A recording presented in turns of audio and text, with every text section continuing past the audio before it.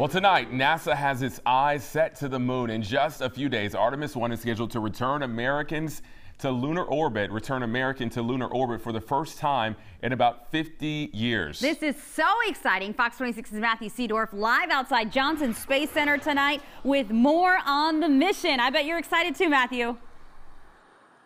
I can't wait.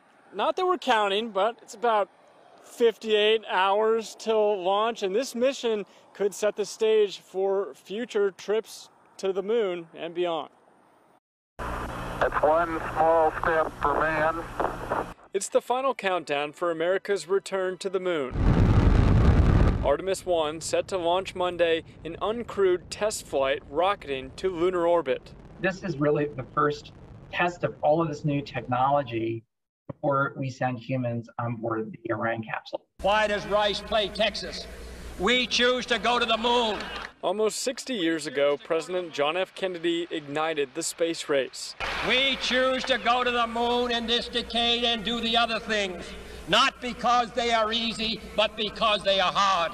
Now a new mission taking off to colonize the moon and explore further than anyone has gone before. We got to explore our solar system. We got to explore the, the universe and beyond. And this is really the first big step since the Apollo mission. NASA already announcing plans for future Artemis missions, including landing the first woman and black man on the moon. Uh, it's long overdue. Former NASA astronaut Robert Satcher spent nearly two weeks in space in 2009. Now it's directly relatable. You know, these kids will actually see people, whoever they are, that look like them on the moon. And that just really opens up the imagination.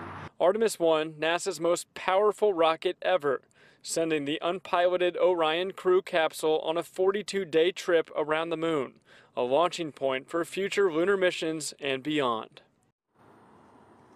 So this is a test mission. If successful, NASA hopes to send people to the moon within two years. We're live outside Johnson Space Center tonight. Matthew Seedorff, Fox 26 News.